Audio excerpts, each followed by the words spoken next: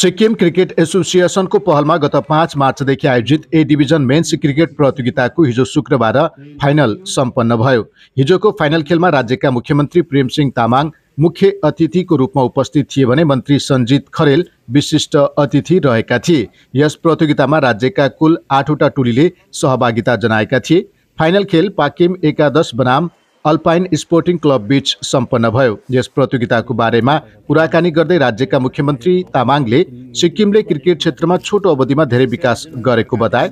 विशेष गरेर सिक्किममा बढ्दो क्रिकेटको क्रेजलाई ध्यानमा राख्दै अझ एउटा क्रिकेट खेल मैदान बनाउनु पर्ने र यस विषयमा राज्य सरकारले पहल गर्ने अवगत गराए।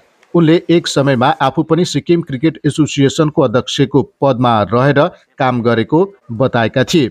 सिक्किमले केही दिन अघि मात्र रणजी ट्रफी प्रतियोगिता आयोजना गरेको र यसमा सिक्किमका टोलीले पनि सहभागिता जनाएको जानकारी गराए। रणजी ट्रफीको माध्यमद्वारा राष्ट्रिय स्तरमा खेल्न पाउने बताए।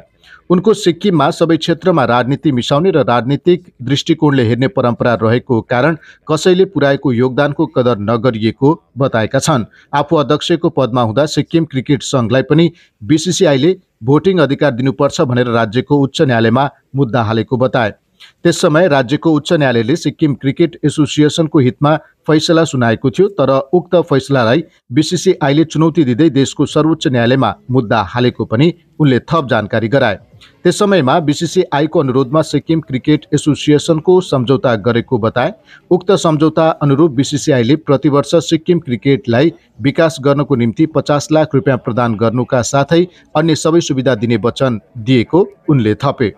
सोही अनुरूप अहिले सिक्किममा क्रिकेटको विकास भइरहेको उनले थप जानकारी गराए। मुख्यमन्त्रीले खेलमा विजय र उपविजय दुवै टोलीलाई एक एक लाख प्रदान गरे भने सबैभन्दा धेरै विकेट लिने र रन बनाउनेलाई पचास पचास हजार प्रदान गरे।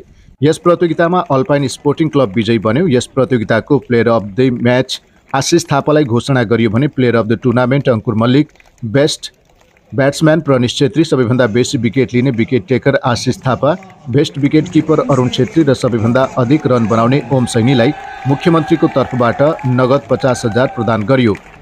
यस कार्यक्रममा राज्यका खेलकुद एवं युवा मामिला विभाग मन्त्री केएन लेप्चा पर्यटन मन्त्री बिएस पन्त मन्त्री सञ्जित खरेल विधायक आदित्य गुले र मन्त्री सामदुप लेप्चाको उपस्थिति रहेको थियो।